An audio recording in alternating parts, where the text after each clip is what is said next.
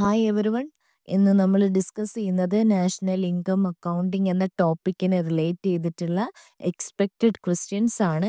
ഇതിന്റെ first part ഞാൻ already upload ചെയ്തിട്ടുണ്ട്. അതെല്ലാവരും കാണാൻ ശ്രമിക്കുക കൂടാതെ ഈ ടോപ്പിക്കിനെ റിലേറ്റ് ചെയ്തിട്ടുള്ള എല്ലാ ക്ലാസ്സുകളും ഞാൻ അപ്ലോഡ് ചെയ്തിട്ടുണ്ട്. ആ വീഡിയോസ് കൂടെ ചെക്കൗട്ട് ചെയ്യുക ഈ ചാനൽ സബ്സ്ക്രൈബ് ചെയ്യാതെയാണ് നിങ്ങൾ വീഡിയോ കാണുന്നതെങ്കിൽ ചാനൽ സബ്സ്ക്രൈബ് ചെയ്ത് സപ്പോർട്ട് ചെയ്യുക eleventh question In National Income Accounting, Net Domestic Product NDP is equal to option A GDP plus net factor income, option B GDP minus depreciation, option C NNP plus indirect tax, option D GDP minus subsidies.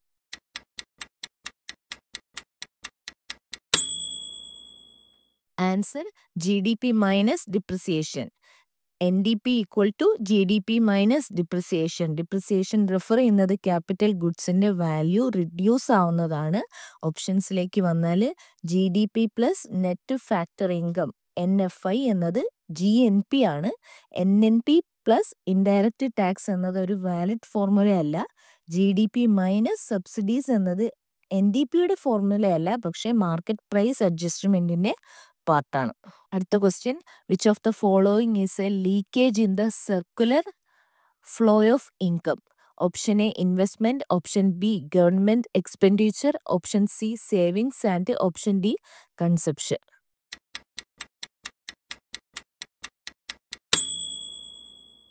answer savings consumption അല്ലെങ്കിൽ സ്പെൻഡിങ്ങിന് വേണ്ടി ഉപയോഗിക്കാത്ത ഇൻകമാണ് savings. അതുകൊണ്ട് തന്നെ it reduce the flow of money in the economy. ഓപ്ഷൻസിലേക്ക് വന്നാൽ investment എന്നത് injection ആണ് ലീക്കേജ് അല്ല ഗവൺമെന്റ് എക്സ്പെൻഡിച്ചറും കൺസെപ്ഷനും മണി ഫ്ലോയുടെ ഭാഗമാണ് ലീക്കേജ് അല്ല.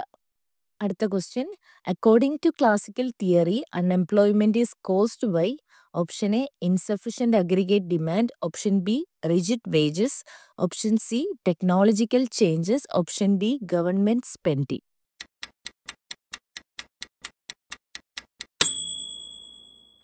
answer rigid wages. Classical theory പറയുന്നത് വേജസ് എന്നത് സ്വാഭാവികമായിട്ട് ക്രമീകരിക്കും എന്നതാണ് വേജസ് ആർ റിജിഡ് സോ ഇത് അൺഎംപ്ലോയ്മെന്റ്സ് ക്രിയേറ്റ് ചെയ്യുന്നു. ഈ റിജിഡിറ്റി കാരണം market equilibrium ഉണ്ടാവാതിരിക്കുന്നു. Option A insufficient aggregate demand എന്നത് കെയിൻസിന്റെ ആർഗ്യുമെന്റ് ആണ്. ഓപ്ഷൻ സി ടെക്നോളജിയിലെ മാറ്റങ്ങൾ അൺഎംപ്ലോയ്മെന്റ്സിന് വഴിവെക്കുന്നുണ്ട്. പക്ഷെ അത് ക്ലാസിക്കൽ അപ്രോച്ച് അല്ല. ഗവൺമെന്റ് സ്പെൻഡിങ് എന്നത് അൺഎംപ്ലോയ്മെന്റിന് കാരണമായിട്ട് ക്ലാസിക്കൽ തിയറിയിൽ പറയുന്നില്ല. അടുത്ത question which of the following is a true under liquidity trap condition in I S L M option A L M curve is vertical option B I S curve is upward sloping option C L M curve is horizontal option D I S and L M both shift equal equally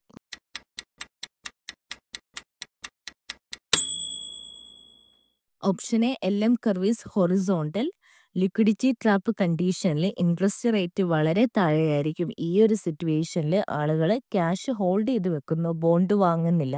അതുകൊണ്ട് തന്നെ money supply കൂട്ടിയാലും interest rate കുറയുന്നില്ല. ഇത് L M curve horizontal ആവുന്നതിന് കാരണമാവുന്നു. So money demand perfectly elastic ആയിരിക്കും. ഓപ്ഷൻസിലേക്ക് വന്നാൽ L M curve vertical ആവുമ്പോൾ മണി ഡിമാൻഡ് പെർഫെക്റ്റ്ലി ഇന്നിലാസ്റ്റിക് ആയിരിക്കും ഇവിടെ ലിക്വിഡിറ്റി ട്രാപ്പ് ഇല്ല. I S curve downward sloping ആണ് അപ്വേർഡ് അല്ല. I S L M curve ഒരേപോലെ ഒരേപോലെ മാറുന്നു എന്നത് റൂൾ അല്ല. ഇത് ഫിസിക്കൽ പോളിസിയെയും മോണിറ്ററി പോളിസിയെയും ഡിപ്പെൻഡ് ചെയ്തിരിക്കുന്നു. അടുത്ത question An expansionary monetary policy in an open economy with a fixed exchange rate leads to Option A currency appreciation, Option B no change in income, Option C capital outflows, Option D loss of reserved and reversal of policy.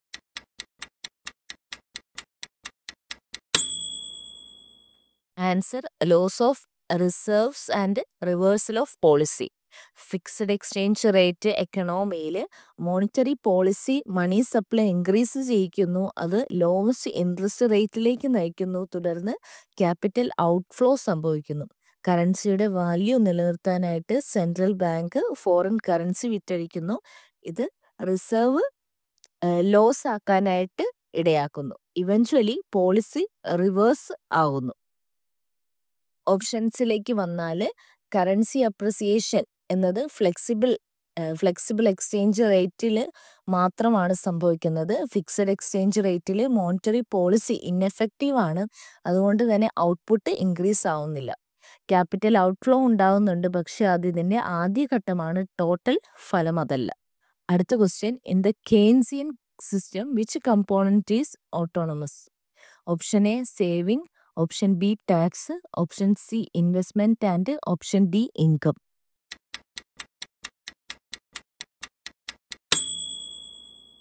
Answer investment. Keynesian മോഡലിൽ investment എന്നത് autonomous ആണ്. അതായത് current വരുമാനത്തെ depend ചെയ്യുന്നില്ല മറിച്ച് business expectations interest rate confidence level എന്നിവയെല്ലാം ഇത് depend ചെയ്യുന്നു. ഓപ്ഷൻസിലേക്ക് വന്നാൽ സേവിങ്സ് ഡിപ്പെൻഡ് ചെയ്യുന്നത് ഇൻകം ആണ്. അത് ഓട്ടോണമസ് അല്ല. ടാക്സ് എന്നത് പോളിസിയെ ഡിപ്പെൻഡ് ചെയ്തിരിക്കുന്നു. അതുകൊണ്ട് തന്നെ കെൻസിയൻ മോഡലിൽ ഇത് ഓട്ടോണമസ് അല്ല. ഇൻകം ഇക്വിലിബ്രിയത്തിന്റെ റിസൾട്ട് ആണ്. ഇത് ഇൻഡിപെൻഡന്റ് ഔട്ട്പുട്ട് അല്ല. അടുത്ത question in the Mundell Fleming model with fixed exchange rate monetary policies option A highly effective option B partially effective option C ineffective and option D more effective than fiscal policy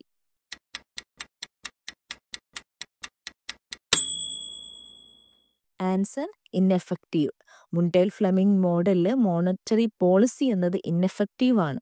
ഇതിന്റെ reason എന്താണെന്നുള്ള detailed class ഞാൻ upload ചെയ്തിട്ടുണ്ട്. ആ class എല്ലാവരും കാണാൻ ശ്രമിക്കുക. ഈ ഒരു വീഡിയോ ചാനലിൽ സ്റ്റാറ്റിസ്റ്റിക്കൽ അസിസ്റ്റന്റ് എന്ന പ്ലേ ലിസ്റ്റിൽ ഞാൻ അപ്ലോഡ് ചെയ്തിട്ടുണ്ട്. ആ ഒരു ഓപ്ഷനിൽ ചെന്നാൽ നിങ്ങൾക്ക് കാണാൻ സാധിക്കും. ഇനി ഓപ്ഷനിലേക്ക് വന്നാൽ ഫ്ലെക്സിബിൾ എക്സ്ചേഞ്ച് റേറ്റിൽ ഇത് ഹൈലി എഫക്റ്റീവ് ആണ്. മോണിറ്ററി പോളിസി എന്നത് ഫ്ലെക്സിബിൾ എക്സ്ചേഞ്ച് റേറ്റിൽ ഇത് ഹൈ എഫക്റ്റീവ് ആണ്. ഫിക്സ്ഡ് എക്സ്ചേഞ്ച് റേറ്റിൽ ഫിസിക്കൽ പോളിസിയാണ് മോർ എഫക്റ്റീവ് ആയിട്ടുള്ളത്. അടുത്ത question which of the following is true in the classical model option A prices are sticky option B output is demand determined option C money is neutral option D fiscal policy is effective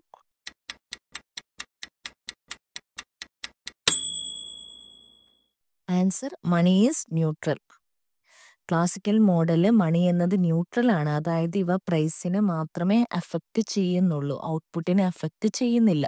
so ഈ ഒരു കൺസെപ്റ്റിനെ base ചെയ്യുന്ന തിയറിയാണ് quantity theory of money. ഓപ്ഷൻസിലേക്ക് വന്നാൽ sticky price എന്നത് Keynesian concept ആണ്. Classical മോഡലിൽ പ്രൈസ് ഉടൻ തന്നെ മെഷർമെന്റായി മാറുന്നു. ക്ലാസിക്കൽ മോഡൽ പ്രകാരം ഔട്ട്പുട്ട് ഡിമാൻഡിനെ ആശ്രയിച്ചിട്ടല്ല നിലനിൽക്കുന്നത്. ടോട്ടൽ എംപ്ലോയ്മെന്റ് എന്നത് ഔട്ട്പുട്ട് സപ്ലൈയെ ഡിപ്പെൻഡ് ചെയ്തിരിക്കുന്നു. ഫിസിക്കൽ പോളിസി ക്ലാസിക്കൽ എക്കണോമിയിൽ എഫക്റ്റീവ്നെസ് കാണിക്കുന്നില്ല. ഇത് ക്രൗഡിംഗ് ഔട്ട് ഉണ്ടാക്കുന്നു. അടുത്ത question. In an open economy net exports equal to option A export minus G D P option B import minus export option C export minus import option D import plus export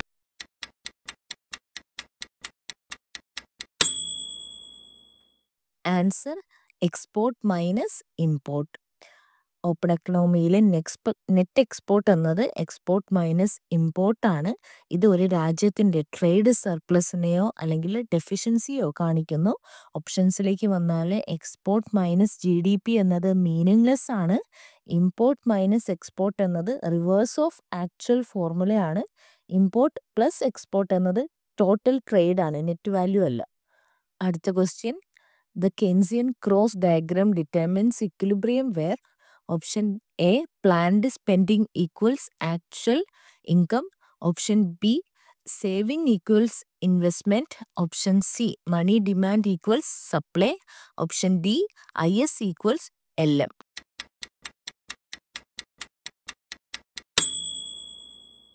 Answer, planned spending equals actual income.